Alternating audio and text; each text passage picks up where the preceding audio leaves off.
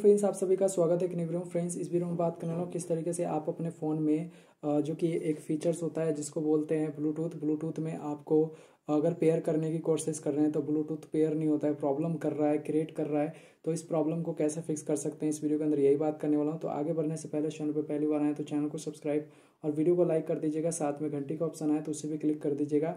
और मेरे पास इन्फिनिक्स का डिवाइस है। इन्फिनिक्स के डिवाइस में ब्लूटूथ प्रॉब्लम को कनेक्टिंग प्रॉब्लम को कैसे फिक्स कर सकते हैं? चलिए जानते हैं स्टेप बाय स्टेप तो सबसे पहले आपको क्या करना होगा? आपको जाना होगा सेटिंग में। सेटिंग में जाते ही सबसे पहले आपको यहाँ पे बहुत सारे ऑप्शन दिखेगा तो आपको सिस्टम पे क्लिक करना होगा। इस पर क्लिक करते ही आपको यहाँ पे ये ऑप्शंस दिखेगा, यहाँ पे नेटवर्क ऑप्शंस और रीसेट इस पर क्लिक करना होगा। और सबसे ऊपर ब्लूटूथ वाले ऑप्शंस पे क्लिक करना होगा और यहाँ पे आपको रीसेट टू डिफ़ॉल्ट पे क्लिक कर देना है और जो भी लॉक लगा उसको खोल दीजिएगा। और टेंशन मत लीजिए, ये सिर्फ़ ब्लूटूथ से रिलेटेड है तो यहाँ आपका बॉडी फ़ोटो वीडियो वगैरह डॉक्यूमेंट वगैरह डिलीट नहीं होगा। तो इस पर क्लिक करते ही आपका जो प्रॉब्लम है वो फिक्स हो जाएगा। तो गाइज़ कैसा लगा वीडियो प्लीज़ कमेंट में ज़रूर बताइएगा। चलिए मिलते हैं नेक्स्ट वीडियो में। आई होप कि ब्लूटूथ इशू प्रॉब्लम सॉल्व करना आ गया होगा।